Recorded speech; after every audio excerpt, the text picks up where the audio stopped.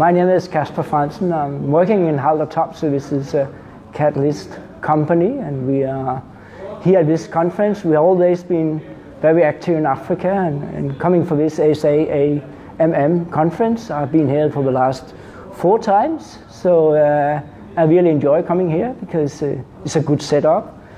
And this time, uh, the organization give them a chance to make this workshop. We have just uh, executed today, and I believe we have a good discussion. I believe everybody goes from this uh, small workshop with uh, some good learnings, good experience, maybe not a good experience, I think at least more knowledge about how to handle and operate catalyst in, in a sulfuric acid plant.